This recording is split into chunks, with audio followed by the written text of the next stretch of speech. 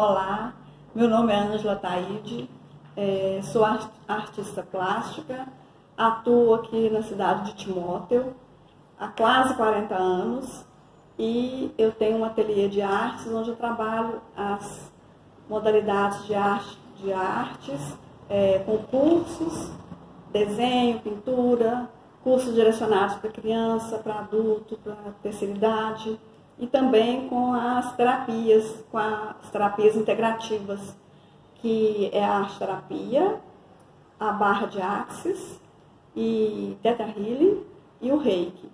Eu comecei a trabalhar né, como profissional de artes plásticas.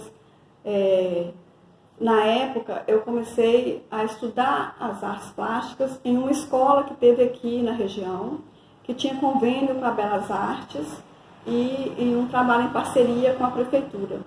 Então, os professores das Belas Artes da UFMG vinham para Timóteo é, ensinar, né, dar os cursos, ministrar os cursos nessa escola que tinha convênio.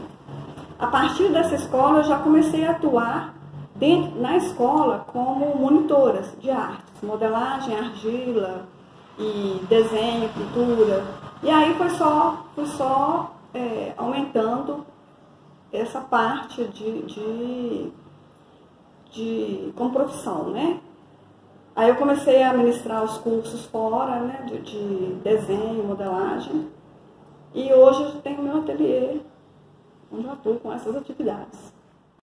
Então, as dificuldades que o artista enfrenta né, em, uma, em uma cidade do interior, é que falta consciência, conscientização das pessoas para uma obra de arte ou para um curso de arte para o filho, né? É, a conscientização de que o bem, do, do bem que pode trazer, por exemplo, para o filho de um curso de artes, por exemplo, um curso de ateliê de artes, né? De criatividade, por exemplo, que é o, é que eu gosto de, de, trabalhar aqui, é um dos que eu gosto de trabalhar, é o ateliê de criatividade para criança. Então, eu acho que falta a conscientização dos pais para aquilo que, que pode trazer de benefício para o filho dele com o filho fazendo, praticando né, os trabalhos com arte. Isso é um. Né? O outro também é a, é a conscientização também das pessoas para a obra de arte, para a arte em si, para a obra de arte em si. Aquelas pessoas, por exemplo, que estão com é, decorando casa, né, que estão construindo e tudo, que às vezes preferem o quê? Preferem colocar uma figura, uma imagem, né, uma, uma gravura, nem, nem gravuras de artistas, aquelas gravuras comuns que são emolduradas. Então, vezes, muitas vezes, as pessoas preferem, ao invés de investir numa obra de arte, que tem uma obra de arte, que tem valores agregados, que são a história do artista, né? como o artista fez, que fase o artista estava, né? qual o conhecimento daquele artista. E cada obra de arte traz uma história por trás daquilo tudo. E às vezes o, a pessoa prefere colocar uma imagem que esses valores agregados, que não é uma obra de arte. Então, isso também a gente depara muito com isso.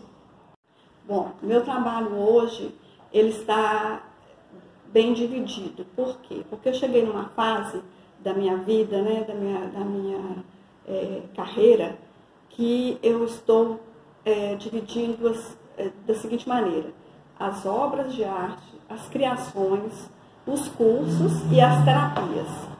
Então, é, eu não consigo ficar bem comigo mesmo, ficar realizada, se eu estiver fazendo só obras de arte dando curso. Eu tenho que ter também o trabalho das terapias integrativas que eu me formei para isso. Então, meu trabalho está dividido nessas duas, essas duas modalidades hoje. É, a criação das minhas obras, é, os cursos que eu ministro e a minha parte que é das terapias integrativas. Quais são as terapias integrativas? São barra de axis, é, Theta Healing, a arte terapia e o reiki, por enquanto. Quero fazer mais. então é isso. Eu estou, atualmente eu estou com essas duas modalidades.